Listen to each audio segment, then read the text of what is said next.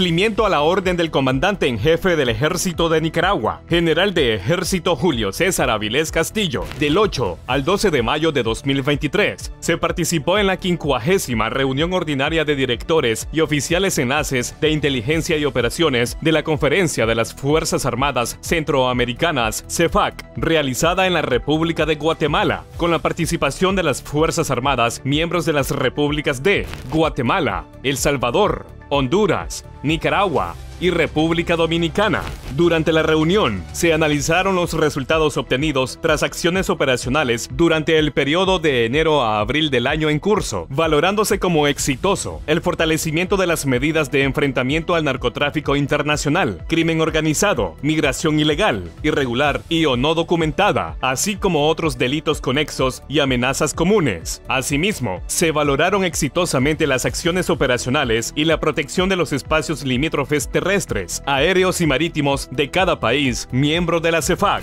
De esta manera, el ejército de Nicaragua reafirma su disposición de contribuir a la seguridad, estabilidad, tranquilidad y paz en Centroamérica y República Dominicana, actuando bajo los principios de integración, confianza y cooperación